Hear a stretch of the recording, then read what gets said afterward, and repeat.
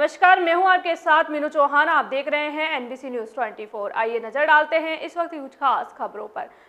मुख्यमंत्री अशोक गहलोत ने राष्ट्रपिता महात्मा गांधी के जीवन मूल्यों एवं सिद्धांतों से विद्यार्थियों को रूबरू करवाने के लिए सर्वोदय विचार परीक्षा के आयोजन हेतु एक उप समिति गठित करने के निर्देश दिए हैं।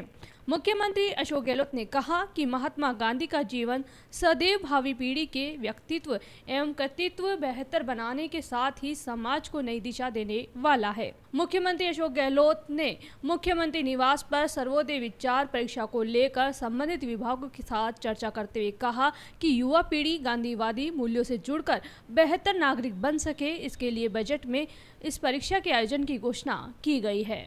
फ़िलहाल खबरों में इतना ही। देश दुनिया की तमाम खबरों के लिए देखते रहिए आपका अपना चैनल एनबीसी न्यूज़ 24